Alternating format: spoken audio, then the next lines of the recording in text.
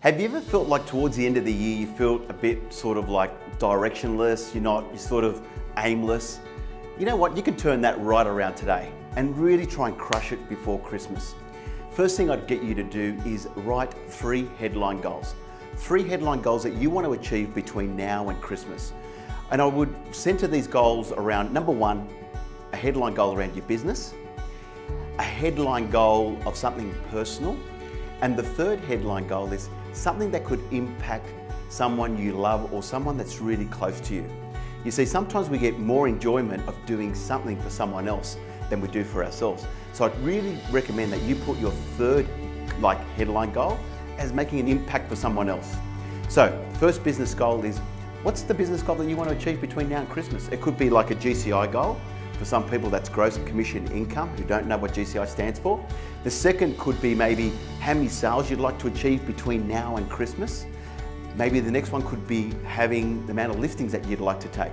And I'd also put in there as a bonus, as a goal, how many listings do you want to take for 2017? So when you come back from holidays, you guess what? You just hit the ground running. The second one is a personal goal. Like I've got some people now who are like, you know, wanting to lose X amount of weight or, you know, get to a gym or exercise, whatever it may be. I'm not sure. Do a cooking course. Work out what a personal goal you would like to do because remember this, um, you know, sometimes we try and make everyone else happy, but sometimes we've got to find happiness within. And, you know, if, if you know Robin Williams, who was a great actor, you know, won an Academy Award not just for being a great comedian, in movies, but also won an Academy Award for drama. And, you know, his wife was happy, his children were happy, and he made all of us laugh and made us happy. But at the end of the day, he wasn't happy within himself. And, you know, sometimes to please other people, we've got to find happiness within. So I'd really recommend you sitting down and writing down a personal goal that you really want to achieve that's going to make you happy. And the third one, obviously, is think about like something that you really want to have an impact on someone. I remember this is like going back 13 years ago. My father hadn't been back to the homeland and if you don't know where I'm from, I originally was born in Chile, came out here with like, you know, in, when I was like nine months old, dad came here with like 20 bucks in his pocket and you know, I'll tell you that story for another day, but he hadn't seen his family in like 33 years. That's how long he hadn't seen his mother or his brother and sisters and he came from a big family, a family of like six siblings. And here's the thing, like I wanted to do something special in 03 for him is taking back to the motherland and having spent Christmas with his mother and his brothers and sisters. And I've got to tell you, there's one thing that I suppose that I'll remember and you can't take the money, you can't take the cars, you can't take everything else, but one thing you can take with you is memorable moments. And that was a real memorable moment that we created because on Christmas Day, we brought him out to his mother, who at the time was probably, she would have been in her sort of 80s, mid 80s at that time. She passed away just recently, um, just over a year ago now. But you know what?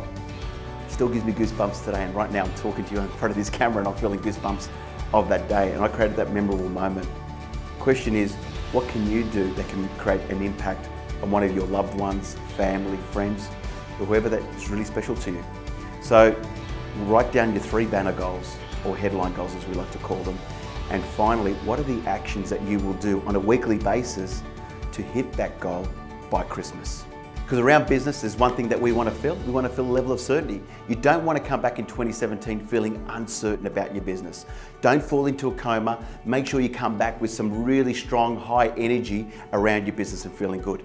Write down that personal goal that you want to have. What's the action that you will take between now and Christmas with that personal goal? Is it about losing weight? Remember, make yourself happy first because happiness comes within and then it's filtered out through to others. And the last one is the art of giving. Nothing makes a human being feel more fulfilled than giving to someone else. So do something special to a loved one, family or friend. And once you tie these three goals together that you achieve by the end of the year, you'll be sitting down on Christmas Day, high-fiving your family, giving them hugs and kisses, and then you will have that level of fulfillment.